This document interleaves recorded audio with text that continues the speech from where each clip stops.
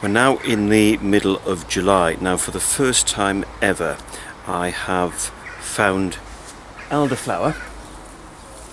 Here's some. Elderflower blossoming in the middle of July. Now normally it's ready for picking in June and again this is one example of the late running growing season that we have this year because of the late uh, start to spring. I'm going to get a bag full of this and take it back to the house and I'm going to use it for making elderflower champagne. Got my elderflower here which goes straight in. Nice big bag of it. I reckon I got about 25 litres of water in that bucket there and then the juice of about 20 lemons and the zest from the same lemons as well and then a few kilos of sugar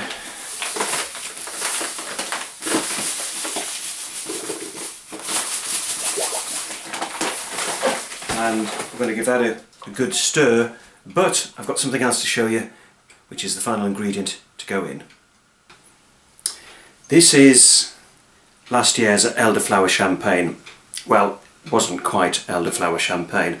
I made a mistake last year of leaving the champagne too long in the bucket and really you're just supposed to leave it there for a couple of days and then you get it into your champagne bottles. I left it in there initially for about a week and then I went and checked it and realised it had fermented but it also had started turning to vinegar and I've ended up with 32 bottles of our own elderflower vinegar because I certainly wasn't going to throw this stuff away. So it's vinegar and actually we need to add vinegar to the fermenting bucket there because that helps to moderate the fermentation process. And we're going to give this a good stir, make sure that sugar is dissolved. Well this is the top of the elderflower champagne bucket and you can see it's started to ferment and this is now going to go into the bottles but first of all I need to get rid of all the gunk from the top. I've removed all the gunk at the top and tried to get rid of as much as possible using a sieve as well. So this is now ready to go into the bottles, the sterilised bottles.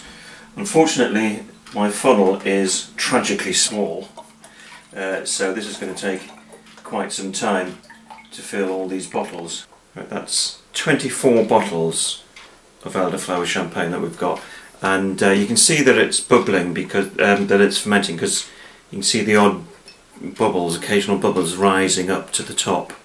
So we've got to put the corks in and uh, these corks have to be heated to soften them up a bit before they go on to the bottles. You need to wire down the corks on the bottles and on the top of the bottles you can see there's quite a, a thick rim and you've got to make sure that your wire cages are below that because that's effectively what locks all of this into place.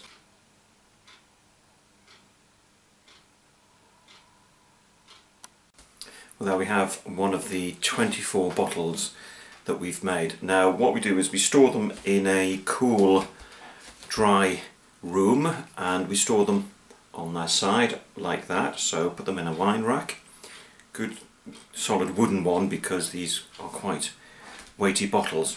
And you can start drinking this really reasonably early probably within um, 10 days or so.